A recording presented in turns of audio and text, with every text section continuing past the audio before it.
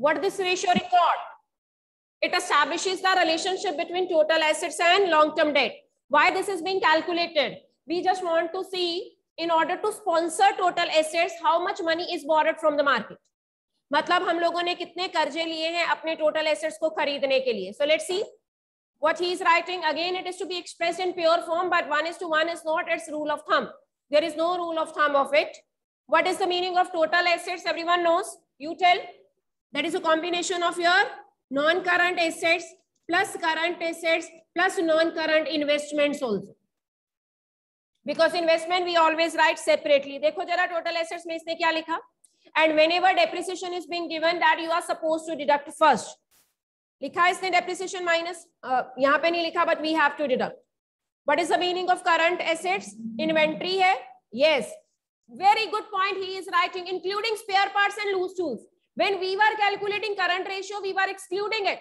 But here when you are taking total assets you have to take all type of asset. Is it clear to everyone? Because current ratio was engaged with knowing of liquidity position. Like it, it is related with what? Solvency position. So hereby we will be taking all type of inventory in it. What is the meaning of debt? Long term debt which includes long term borrowing and long term provision ye first ratio mein numerator tha second mein ye kya ban gaya denominator now the question arises why do we calculate it objectives and significance pe aao The objective of computing this ratio is to establish the relationship between total assets and long-term debt. Yes, it measures the safety margin. ध्यान से सुनना. Uh, for whom the safety margin is determined, like uh, from whom we have taken the long-term loan. अगर मैं बोलू, it is total assets are 8 lakh and long-term debts are 10 lakh. Answer आएगा 0.801 और अगर मैं इसे परसेंटेज में convert करूँ तो 80 परसेंट इट मीन्स कि अगर कंपनी के सिर के ऊपर 10 लाख के डेट है तो 8 लाख के एसेट भी हैं। इन डेट्स को पे करने के लिए कंपनी के पास 8 लाख के एसेट्स हैं। तो 80 परसेंट सेफ्टी मार्जिन है मेरे। डेट्स के पास। 20 परसेंट उनके पैसे डूबने के चांसेस है। So this ratio is being calculated to what extent are debts are being paid from asset कल को कंपनी अगर बंद होने की कगार पे भी है तो ये एसेट बेच के डेट्स की पेमेंट होगी। Higher the ratio more will be the safety margin to the long term debt so lenders are always being interested in calculating this ratio line, underline करो, और उसने वैसे different font में ही लिखी है। It measures the safety margin available to the lenders of long term debt In other words, it measures the extent to which the long-term debt is covered by the asset of the enterprise. मान लो company बंद हो रही है तो इनको तो अपना पैसा वापस ही चाहिए ना ठीक है ना तो so, मैंने बोला 80 परसेंट है इट मीन कि इनका 80 परसेंट इन्हें रिकवरी मिल जाएगी क्यों क्योंकि एसेट कम है डेट के कंपैरिजन में had it been 12 lakh had it been 12 lakh and that will be 10 lakh then fully recovery हो जाएगी because in that case answer will be 1.20 is to 1 higher the ratio will be the safety margin to the lenders जिनसे हम लोगों ने उधार पे पैसा लिया है लिखा भी है उसने अगले पैराग्राफ में a higher ratio means higher safety cover for the lender on the other hand a lower ratio means lower safety for the lenders as the business depends largely on अगर कंपनी की asset debt के comparison में कम है it means की company कर्जों में डूबी हुई है, और जब कभी भी कंपनी बंद होने की कगार पे होगी, कंपनी के एसेट सफिशिएंट नहीं है सारे डेट्स को पे करने में। In other words as the business depends largely on outside loans for its existence in other words investment by the proprietor is low अगर मैं बोलूँ 80 परसेंट इसका आंसर है। ठीक है? इट मींस कि कंपनी ने अपने एसेट को खरीदने के लिए बाहर वाले लोगों का 80 परसेंट बाहर वाले लोगों का पैसा लगाया। दूसरे सेंस में अगर मैं ये बोलूँ कि 20 परसेंट सिर्फ़ शेयर होल्डर्स का लगा। अगर 80 परसेंट किनका लगा है? डेट्स का लगा है तो it is quite obvious 20 percent किसका लगा है? शेयर होल्डर्स का लगा है। तो उस केस में प्रोप्राइटर्स इन्वेस्टमेंट लो है और लेंडर्स इन्वेस्टमेंट हाई है, जबकि ऐसा नहीं होना चाहिए। Lenders investment should only be double than equity लेकिन यहाँ पे 80 परसेंट किसका लगा है? बाहर वाले लोगों का पैसा लगा। We are totally dependent mean हम कर्जे में फंसे हैं। हमारा बाल बाल कर्जे में फंसाओ so it will be a big question mark over the solvency position of the company so like that way you need to interpret name the ratio which is being calculated to know the safety margin to the lenders answer is बोलो total assets to debt ratio right चलिए जी, करना शुरू करें। First is very easy. Let's do that. First example that is 48. फिर मैं एक दो इलस्ट्रेशन करवा के बैक एक्सरसाइज क्वेश्चन ही करवाऊँगी इसके भी ठीक है total assets to debt total debt so i have uh, let me write the formula ta over debt so debt is equal to bolo long term borrowing plus long term provision so long term borrowing is 3 lakh and long term provision is 1 lakh and 50000 that comes to me 4 lakh and 50000 what about my total assets total assets कैसे निकालें भाई non current asset में current asset add कर दो that comes to me 675 am I right current liabilities का कोई लेना देना नहीं है ठीक है तो आंसर आ गया आपका total asset is equal to 675 and debt is equal to 450 five के टेबल पे जहाँ तक कैंसिल और रिड्यूस होता है, करिए। And answer you are getting this means आपके एसेट डेढ़ गुना ज़्यादा है, किसके कंपैरिजन में? तो इट इज़ गुड सेटिस्फैक्ट्री सारे डेट्स की पेमेंट होने के बाद भी कंपनी के पास कुछ ना कुछ एसेट बच जाए। If it is greater than one it is always a good safety margin to our lenders but if it is less than one, then there is a danger to the lenders that they will not get their recovery back. आगे चलते हैं yes 49th again a different i'm at 49th illustration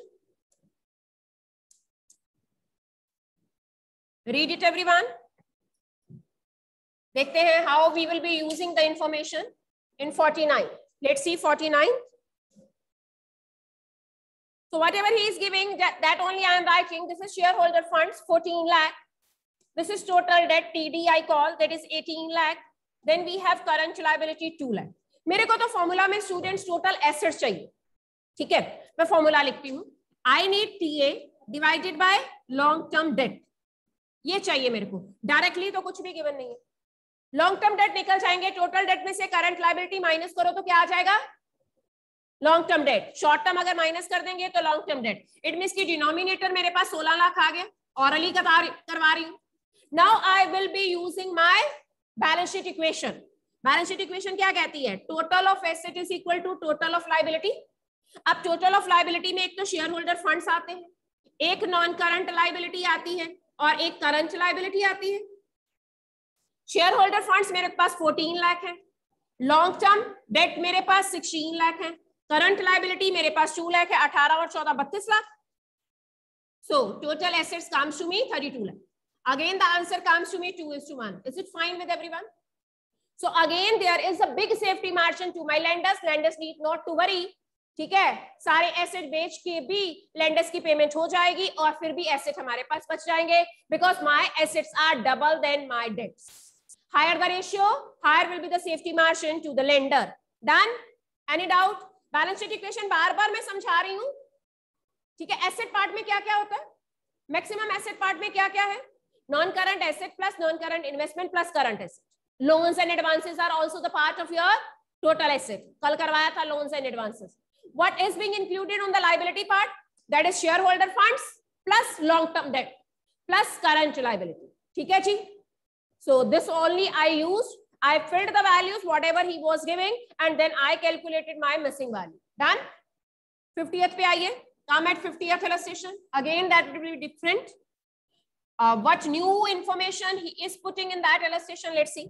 After doing this we will see few back exercise questions.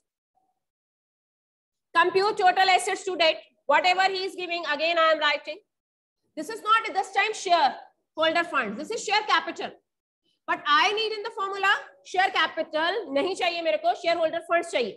Shareholder funds is equal to share capital plus reserve and surplus ठीक है? तो share holder fund अपने आप में एक wider term है share capital और reserve and surplus उसका पार्ट है। तो share capital he is giving me twelve lakh R and S that is reserve and surplus he is giving eight lakh long term borrowing L T B lakh this is five by L is five lakh current liabilities are ten lakh once again for your knowledge I will write the formula formula says total assets over debt Debt means long term debt. इन दोनों को add कर दूँगी तो denominator आ जाएगा। Denominator सीधा आ गया thirty lakh लिख दीजिए। फिर से टोटल एसेट्स मेरे को चाहिए। फॉर्मूला बैलेंस शीट इक्वेशन का यूज़ करूँगी which is equal to shareholder funds plus बोलो नॉन करंट या लॉन्ग टर्म डेट बोल। Long term debt plus current liability इन दोनों को ऐड करूँगी तो शेयर होल्डर फंड्स बनेगा। रिज़र्व एंड सरप्लस में शेयर कैपिटल ऐड होगी। Had he been differentiating equity and preference तो मैं दोनों ऐड करती। रिज़र्व एंड सरप्लस भी ऐड करती। Had he been giving me in place of surplus loss तो लॉस में माइनस करती। ठीक है? इन दोनों को ऐड करके शेयर होल्डर फंड बना twenty lakh long term debt दोनों को ऐड करके बना thirty lakh and ten lakh separately he is giving forty sixty once again, answer is 2 is to 1 there is a big safety margin to my lenders means उनकी payment करने के बाद भी company के पास टोटल एसेट बच रहे हैं। So so, अच्छी पोजीशन है सॉल्वेंसी पोजीशन हमारी कंपनी की। Let's see the back exercise question इसकी भी काफ़ी सारी इलस्ट्रेशन बनाई है। एक मिनट 56 देखो पहले। 56 इज़ डिफरेंट 56 इलस्ट्रेशन देखो। जो टिपिकल है ना मैं करवा ही देती हूँ। Otherwise you will get confuse 56 illustration at page number 4.35 56 देखो। इतनी डिटेल्ड इंफॉर्मेशन, और मेरे को जो चाहिए I have to search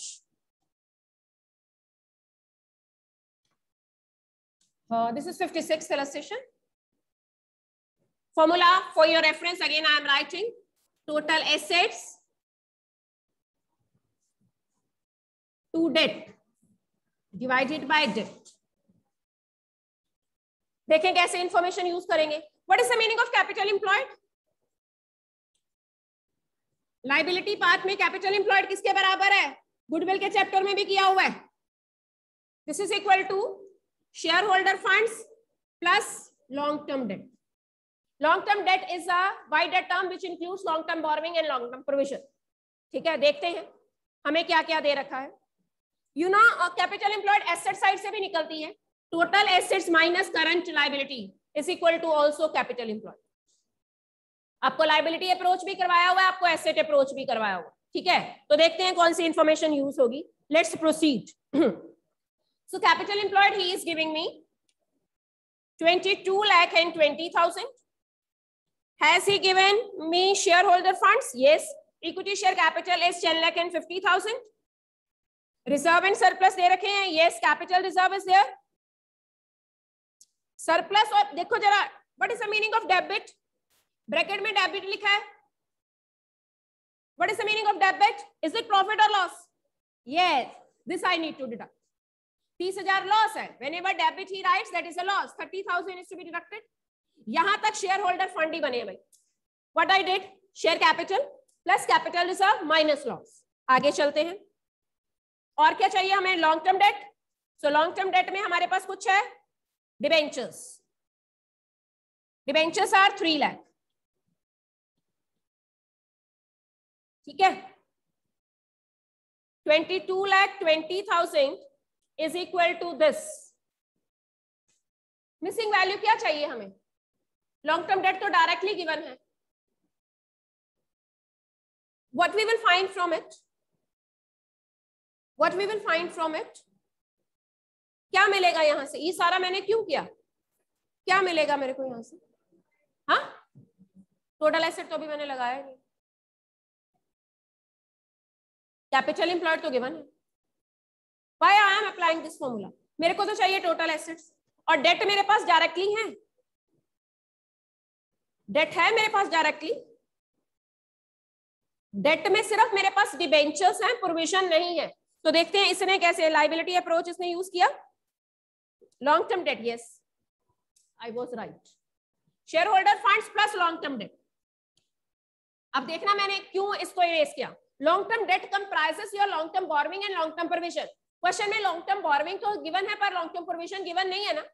it means कि this full flesh term is not given in the question this I will calculate how कम करो जी। ये बनेगा बारह नब्बे। बारह नब्बे में से तीस माइनस किया बारह साठ। प्लस लॉन्ग टर्म डेट मैं एसेट साइड से भी करवाऊँगी। बाईस लाख बीस हज़ार। माइनस करो। बाईस लाख बीस हज़ार में से बारह साठ माइनस करो।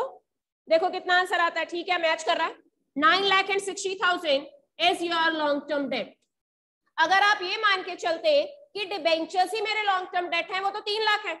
अब मेरे को यहाँ से क्या पता चला? 960 में तीन लाख तो डिबेंचर है, बाकी छह साठ प्रोविज़न या कोई लोन वगैरह हो? ठीक है because long term debt doesn't mean only debenture students you are getting my point or not long term debt includes so many other things that can be bank loan that can be bonds that can be debentures that can be long term provision so from long term debt he is just giving a part to confuse you now i came to know overall long term debts are overall long term debts are 9 lakh 60000 out of which 3 lakh is debenture लेकिन मेरे को अकेले debenture थोड़ी ना चाहिए question में मेरे formula का डिनोमिनेटर तो कहता है मेरे को प्रॉपर डेट्स चाहिए। So that denominator I got nine lakh and sixty thousand देखो डिनोमिनेटर यही लिखा है। नाउ व्हाट टू डू अब कैपिटल इंप्लॉयड का फिर से फॉर्मूला यूज़ करेंगे। Capital employed from asset approach ठीक है एसेट अप्रोच के अकॉर्डिंग कैपिटल इंप्लॉयड किसके बराबर है? From asset approach is equal to बोलो non current assets plus non current investment आगे बोलो। Plus current asset minus current life. Capital का simple formula A minus L लगाती हूँ भाई मैं। जो अकाउंटिंग इक्वेशन में लगाते थे तो यहाँ पे ए का मतलब ये तीन एसेट है, और एल का मतलब करंट लाइबिलिटी ही माइनस करनी है लॉन्ग टर्म लाइबिलिटी माइनस नहीं करनी। चलिए जी, ढूंढिए। This is giving me total asset सीधे निकल सकते हैं। वैसे ये लगाने की हमें ज़रूरत क्यों है? क्या हमें करंट एसेट्स दे रखे हैं? Has he given me the current assets? Yes, current liabilities, so i can find. Current assets also he is giving. हाँ पुट करेंगे। नॉन करंट एसेट हमें उसने कितने दे रखे हैं? हाँ नॉन करंट एसेट देखो कैसे निकालेंगे। पंद्रह लाख के फिक्स एसेट हैं और आपको सिखाया हुआ डेप्रिसिएशन के बाद लेना होता है। नॉन करंट एसेट पंद्रह में से दो लाख डेप्रिसिएशन माइनस करी। तो कितना बन गया? थर्टीन लाख। इन्वेस्टमेंट कितनी दे रखी है? Investment. Non-current investment he is giving, that is 7 lakh right? Current assets दे रखे हैं? नहीं. करंट एसेट में सिर्फ़ एक टीआर और कैश एंड कैश इक्विवेलेंट दे रखा है। इसके अलावा भी तो करंट एसेट में इन्वेंट्री भी तो हो सकती है। So current asset I think I will be getting as a balancing figure am I right current asset मेरी बैलेंसिंग फिगर आएगी। This is twenty two lakh and twenty thousand complicated है question non current asset appreciation के बाद लिए non current investment ली current asset मेरे को नहीं पता, मैंने एज इट इज़ लिख दिए current liabilities he is giving me one lakh and eighty thousand क्या करें भाई? तेरह और सात, बीस लाख। बीस लाख में से वन एटी माइनस किया। अठारह, बीस? हम्म। अठारह, बीस इधर आके माइनस हो जाएगा। So current assets are four lakh check करो करंट एसेट्स की वैल्यू दे रखी है इसने।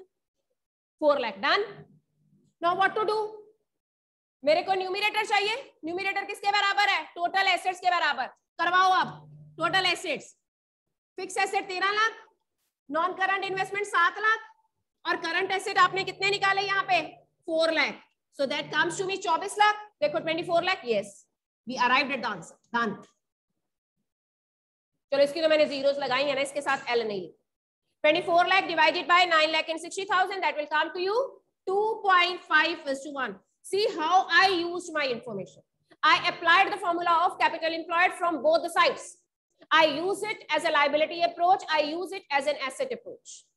ठीक है I am repeating it capital किसी कंपनी में कैपिटल दो फॉर्म में लगती है one is shareholder funds and other is borrowed funds borrowed funds में we always take long term debt which is a combination of बोलो long term borrowing plus long term provision but he was just giving me a part of it कहने को directly सारी items given है but current assets were missing ठीक है इसी तरह से long term debts overall was missing only a part in the form of debenture he was giving me in the question so i calculated my elaborated term that is long term debt in front of you in the by applying this liability approach and here i applied the asset approach of capital employed आपके दिमाग में formula बैठे होंगे then only you will be in a to apply so these a few items he can give and he can ask you calculate what will be the answer of total assets to debt ratio so again it is high a big safety margin to the lenders right come at the back access question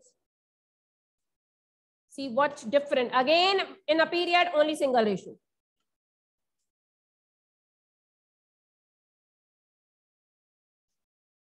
Fifty second करेंगे। Come at fifty second question of the back exercise. It is at page number four point one zero seven. Uh, this is fifty second question, page number four point one zero seven. Read it. Once again, total assets to debt. So sequence wise, fourth ratio we are doing. Again, we find so many illustrations and so many back exercise questions are relating to it.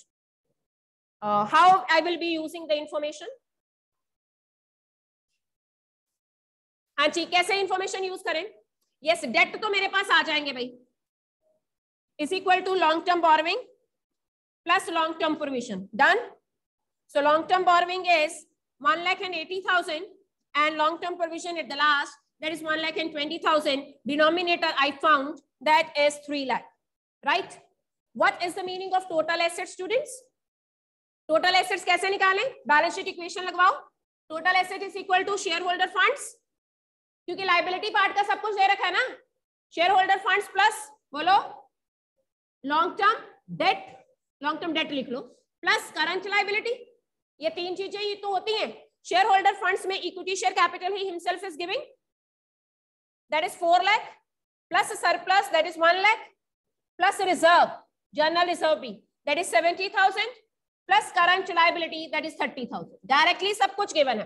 पाँच पाँच और एक छे so answer is 6 lakh divided by 3 lakh is equal to 2 s 2 मैंने कुछ गलत किया